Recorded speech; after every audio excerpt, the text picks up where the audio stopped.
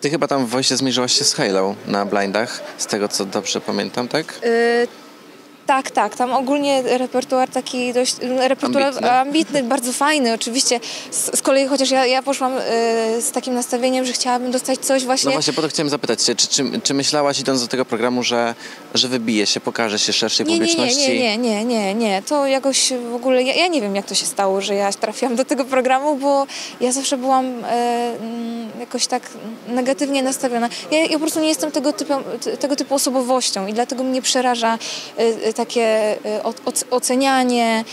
Ja też dlatego staram się później nie czytać komentarzy w internecie, bo jestem chyba za wrażliwa po prostu na to i też mm, ja z kolei nie oceniam nigdy innych i, i może dlatego też nie lubię być oceniana.